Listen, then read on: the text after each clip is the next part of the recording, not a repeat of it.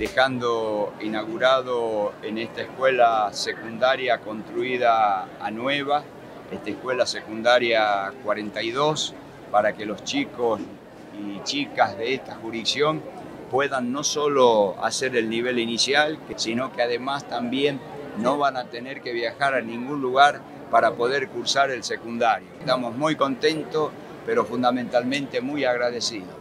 Siempre decimos, la mejor escuela para quienes más lo necesitan y realmente llegar al interior, a todas estas comunidades y poderles brindar un edificio como este para que puedan hacer el secundario sin trasladarse a otro lugar. Nosotros necesitamos niños sanos, no puede haber educación si los chicos no están bien nutridos, si no ven bien, la salud bucal, la salud mental.